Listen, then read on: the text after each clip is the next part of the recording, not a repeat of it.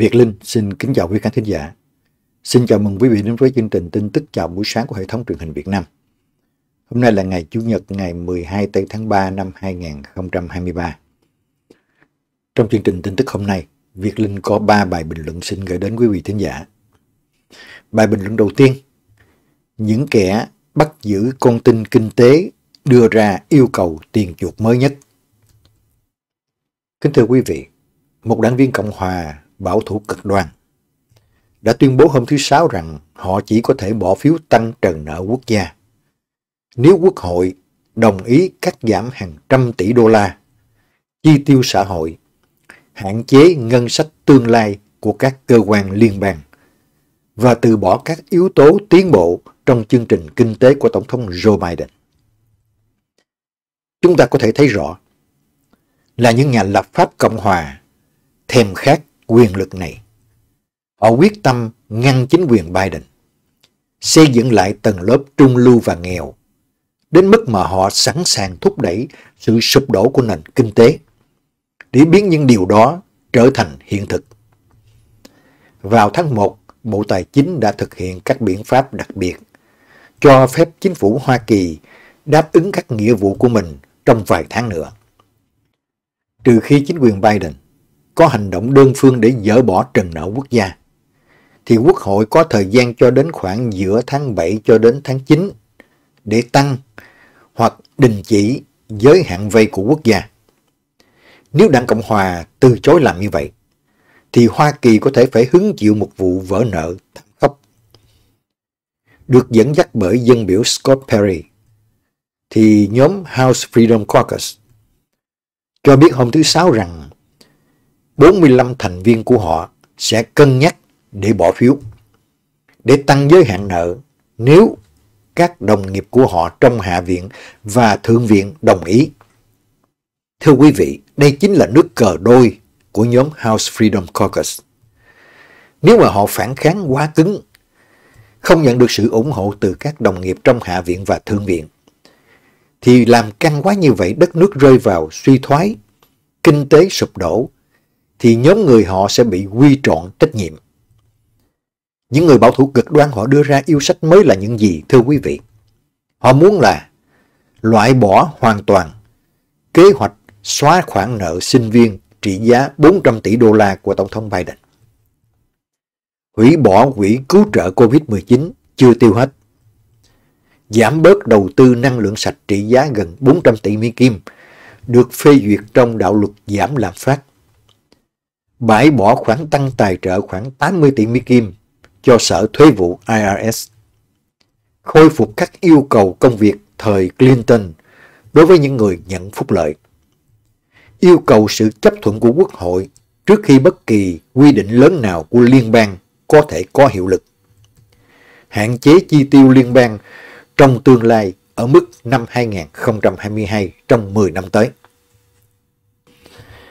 Mặc dù phe nhiều hâu chủ trương giảm thâm hụt ở đồi Capitol, họ rất muốn tấn công người nghèo và cắt giảm các chương trình phúc lợi xã hội phổ biến.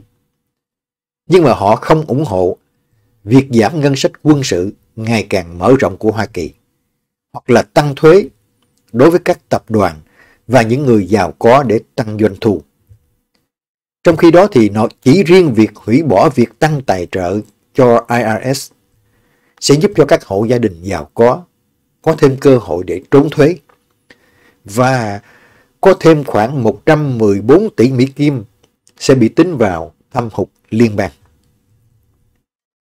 Khi mà nói đến những vấn đề này, tôi thực sự khó hiểu cho những nhận thức chính trị của những lá phiếu của những người Mỹ đã đưa những tên thảo khấu này vào ngồi trong hạ viện. Để rồi họ ra tay tước đoạt những phúc lợi của những người bầu cho họ. Những kẻ cực đoan MAGA. Họ đang điều hành hạ viện, hoàn toàn có ý định tạo ra một cuộc khủng hoảng vỡ nợ thảm khốc bằng cách đưa ra những yêu cầu mà họ biết là không thông minh và khó có thể chấp được chấp nhận. Chẳng hạn như để những kẻ giàu có được tiếp tục gian lận thuế và những kẻ gây ô nhiễm lớn thoát tội diệt chủng. Những nhà lập pháp bảo thủ cực đoan. Họ thèm khát quyền lực. Họ quyết tâm ngăn chính quyền Biden, xây dựng lại tầng lớp nghèo và trung lưu, đến mức mà họ sẵn sàng khiến cho nền kinh tế của đất nước này sụp đổ tan hoang. Lần đất nước gặp bế tắc trừng nợ vào năm 2011, khi đó ông Biden là phó tổng thống, đã cho phép các đảng viên Cộng hòa trong quốc hội áp đặt chính sách thắt lưng buộc bụng và cũng dẫn đến việc hạ xếp hạng tín dụng của chính phủ Hoa Kỳ trong lịch sử. Nhưng mà quốc gia này chưa bao giờ vỡ nợ. Các nhà kinh tế đã cảnh báo trong lần bế tắc gần đây nhất là vào năm 2021 rằng một vụ vỡ nợ sẽ gây ra đủ sự hỗn loạn trên thị trường tài chính toàn cầu và có thể phá hủy gần 6 triệu việc làm và khoảng 15.000 tỷ Mỹ Kim tài sản hộ gia đình chỉ riêng ở Hoa Kỳ.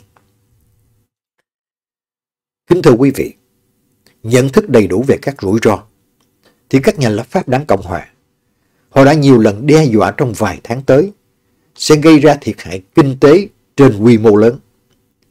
Trừ khi mà họ thành công trong việc rút ruột những phúc lợi của những người nghèo tại Hoa Kỳ. Theo The Washington Post, họ đưa tin thì tối hậu thư mới nhất từ nhóm Freedom Caucus dường như đã làm phức tạp thêm các nỗ lực nhằm đạt được một thỏa thuận và ngăn chặn một thảm họa tài khóa sắp xảy ra. Tổng thống Biden, ông đã nhiều lần tố cáo đảng Cộng Hòa bắt nền kinh tế quốc gia làm con tin trong nỗ lực buộc phải thực hiện những thay đổi có hại và cố gắng tung ra những cú đấm thẳng vào tầng lớp trung lưu và nghèo trên đất Mỹ. Tổng thống Biden hôm thứ Sáu đã rất phẫn nộ khi ông nhắc lại việc từ chối xem xét các đề xuất cắt giảm mới nhất của Đảng Cộng Hòa và nói rằng tôi không có nhiều điều để thương lượng với họ. Vào thứ Năm, Tòa Bạch Ốc đã công bố yêu cầu ngân sách cho năm tài khoá năm 2024. Những chi tiết trong ngân sách đã được những người cấp tiến ca ngợi vì đề xuất tăng thuế đối với các tập đoàn và những người giàu có để có thêm nguồn tài chính để tài trợ cho hành động khí hậu, chăm sóc trẻ em, giáo dục, chăm sóc sức khỏe, nhà ở.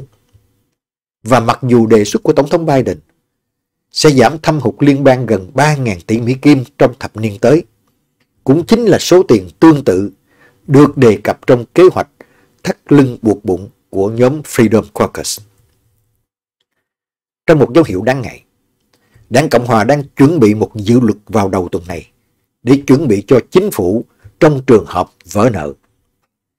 Biện pháp mà Ủy ban cách thức và phương tiện Hạ viện họ tập trung vào đó là thuế đã gửi tới toàn thể Hạ viện.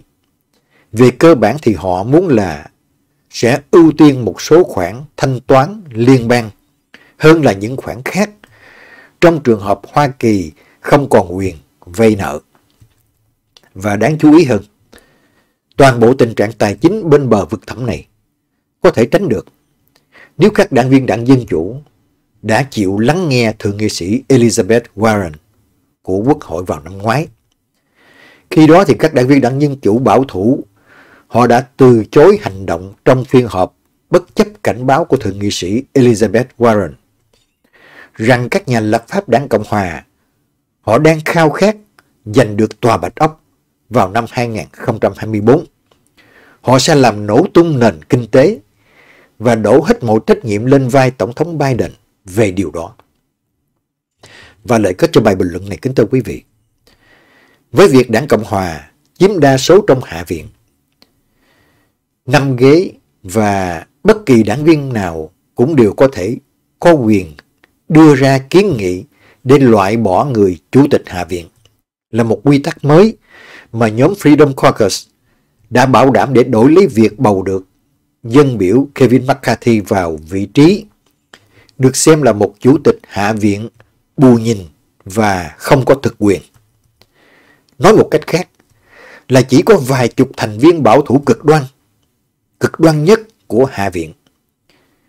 Họ lại là những người có đòn bẩy đáng kể đối với số phận của nền kinh tế Hoa Kỳ và của thế giới.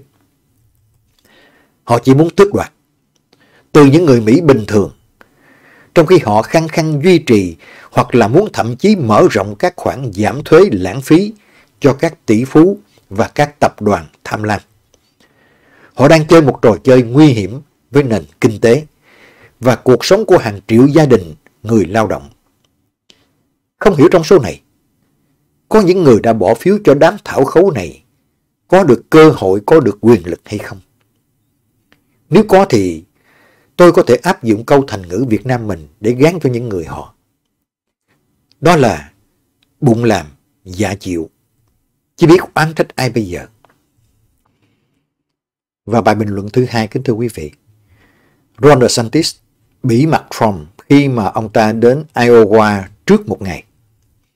Kính thưa quý vị, thống đốc của tiểu bang Florida Ron DeSantis, ông ta đã đến thăm Iowa, giới thiệu bản thân với những cử tọa đang chờ đợi là những đảng viên đảng Cộng Hòa trước cuộc tranh cử tổng thống năm 2024 có thể xảy ra.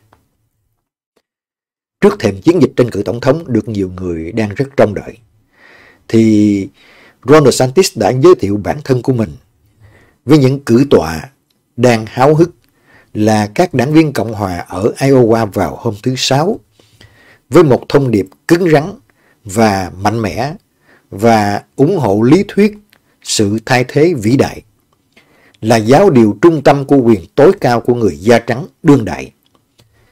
Và ông ta cũng ngầm đe dọa đến cộng đồng LGBT cũng như cha mẹ của họ.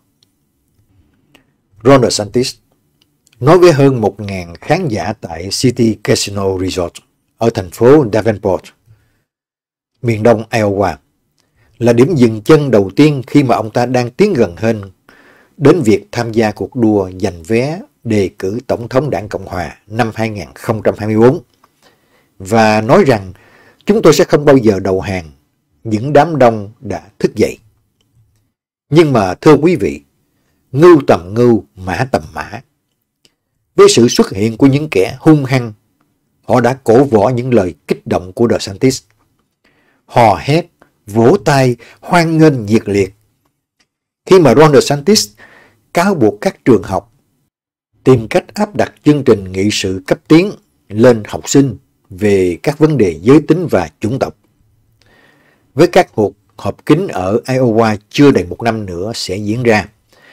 Các đảng viên Cộng hòa ở tiểu bang này, họ đang xem xét kỹ hơn về Ron DeSantis, là người đang nổi lên như một đối thủ hàng đầu của Donald Trump.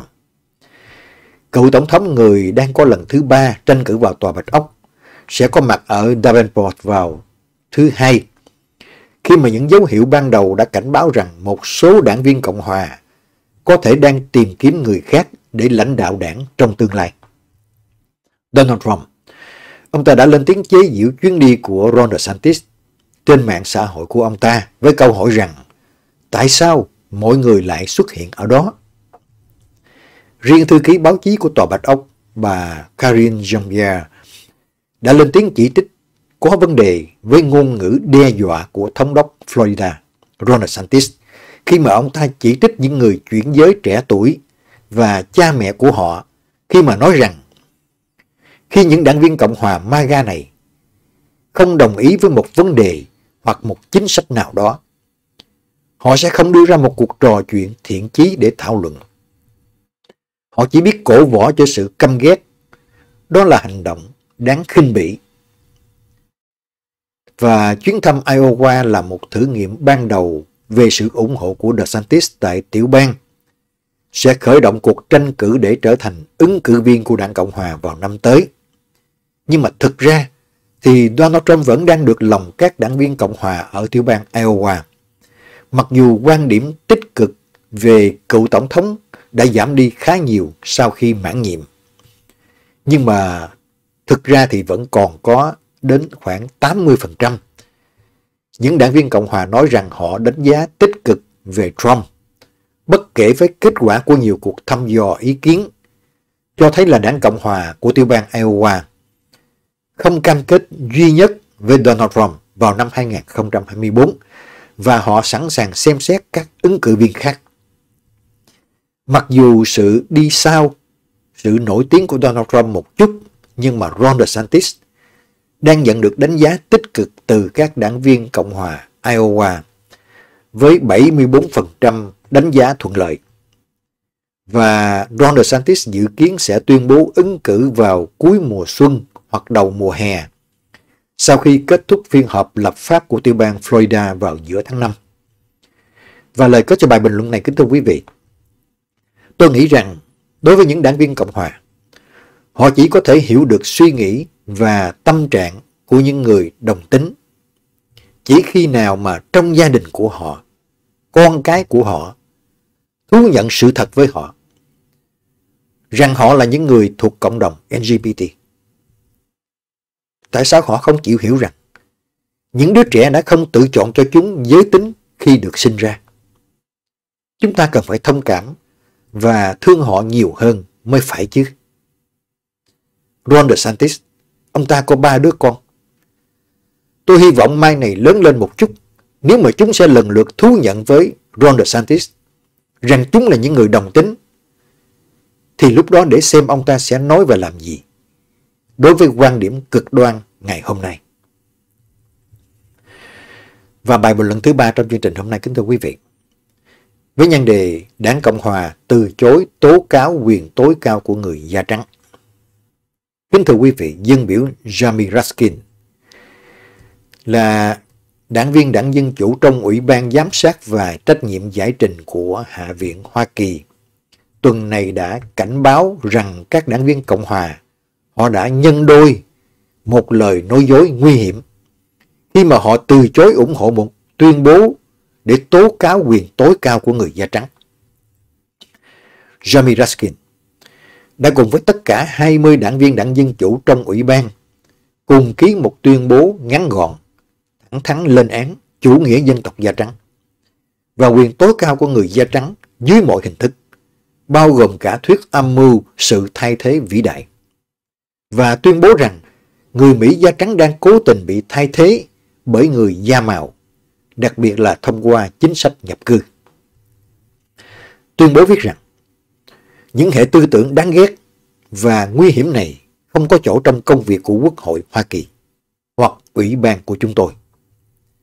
Dân biểu Jamie Raskin đã gửi tuyên bố cùng với một lá thư cho Chủ tịch Ủy ban là James Comer của Đảng Cộng Hòa của Kentucky và nói rằng ông được thúc đẩy để kêu gọi 26 đồng nghiệp Đảng Cộng Hòa của mình ký vào tuyên bố sau khi Ủy ban tổ chức một phiên điều trần vào tháng 2 với tiêu đề rằng trên chiến tuyến của cuộc khủng hoảng biên giới. Và trong phiên điều trần đó, thì dân biểu Paul Goza, Đảng Cộng hòa Arizona, đã hỏi liệu rằng những người nhập cư đến Hoa Kỳ qua biên giới phía Nam có đang làm thay đổi văn hóa của chúng ta hay không? Và cả dân biểu Lauren Boebert, Đảng Cộng hòa Colorado và Marjorie Taylor Greene, Đảng Cộng hòa Georgia, cùng tuyên bố rằng một cuộc xâm lược của người di cư và người xin tị nạn đang diễn ra ở biên giới Hoa Kỳ-Mexico. Trong bức thư gửi cho James Comer, dân biểu Jamie Raskin đã lưu ý rằng ông đã giải thích với chủ tọa tại phiên điều trần rằng những ngôn ngữ như vậy vay mượn từ lý thuyết sự thay thế vĩ đại là giáo điều trung tâm của quyền tối cao của người da trắng đương đại.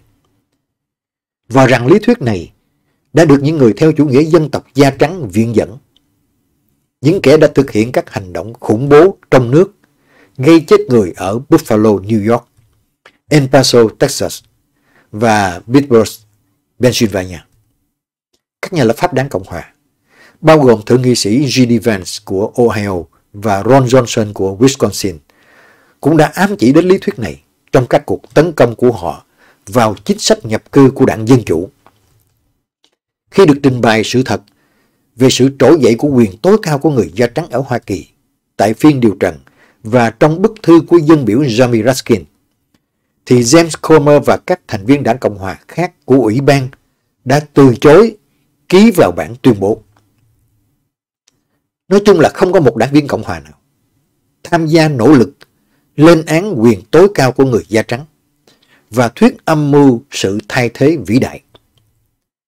Trong bức thư của mình, Jamie Raskin đã lưu ý rằng các đảng viên Cộng Hòa trước đây đã từng có cơ hội để lên án quyền tối cao của người da trắng.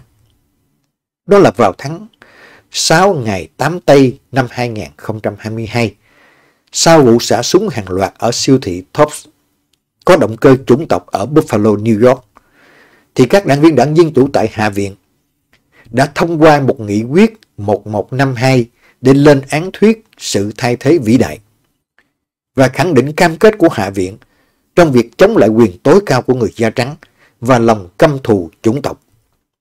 Nhưng mà các đảng viên Cộng Hòa họ đã có một cơ hội để công khai chống lại việc cố ý khuếch đại những luận điệu phân biệt chủng tộc nguy hiểm là những thứ đã gây ra hậu quả chết người ở đất nước này. Chúng ta cần phải đồng lòng, lên tiếng bác bỏ những thuyết âm mưu nguy hiểm, cũng như tư tưởng phân biệt chủng tộc và bài do thái trong ủy ban của chúng ta. Nhưng mà các đảng viên Cộng Hòa thì không. Hành động của họ đã xác quyết tư tưởng chủ nghĩa dân tộc da trắng và quyền tối cao của người da trắng. Họ thậm chí không còn cố gắng để che giấu tư tưởng bài ngoại kỳ thị mà bây giờ tất cả đều đưa ra trước công chúng đó là công khai. Và lời kết cho bài bình luận vào cuối chương trình hôm nay kính thưa quý vị. Liệu những người đang ủng hộ đảng Cộng Hòa, ủng hộ Trump, trong đó có những người Mỹ gốc Việt da vàng tóc đen, có nhìn ra được vấn đề hay không? Có nhận biết họ đang là một trong những thành phần bị đảng Cộng Hòa kỳ thị, phân biệt đối xử hay không? Nếu biết mà vẫn ủng hộ, vẫn bỏ phiếu cho đảng Cộng Hòa, thì chính xác họ là những người bệnh hoạn, cố chấp, vẫn không chịu đứng lên và đi bằng đôi chân của chính mình. Việt Linh xin cảm ơn sự lắng nghe của quý khán thính giả và xin kính chúc tất cả quý vị một ngày Chủ nhật bình an, hạnh phúc. Xin hẹn gặp lại quý vị trong chương trình ngày mai. Xin kính chào.